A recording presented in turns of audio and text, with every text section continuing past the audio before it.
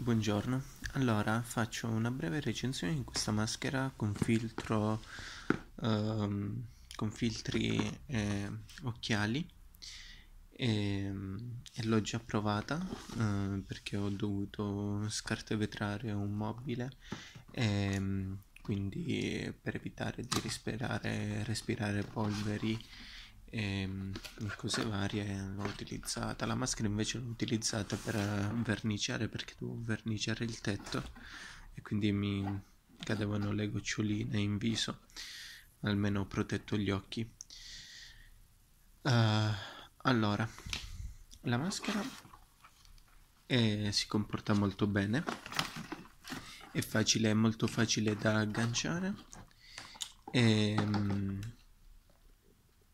e soprattutto è comoda, non dà fastidio.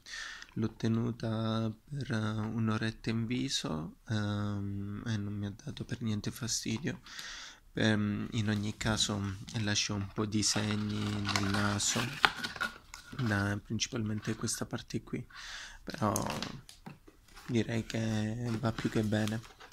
I filtri sono questi qua, che sono dei filtri doppi qua mm, all'interno di questa parte grigia c'è un filtro e poi davanti si mette un altro filtro di tipo mm, classico EPA dovrebbe essere.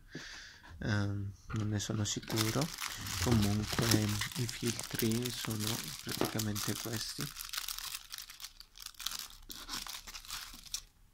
Eccoli qua.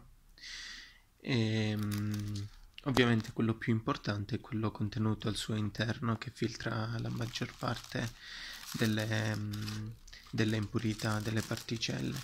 Se non ricordo male, il, la percentuale mm, di, di protezione da particelle è del 99,9%, uh, se non qualcosina di più.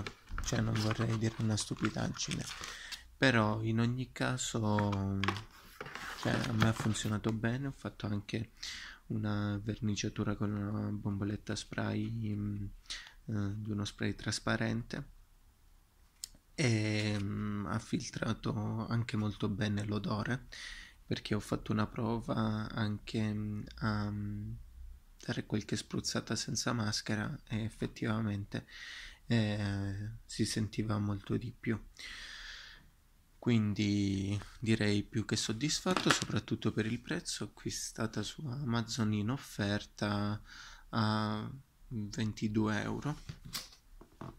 Questa qui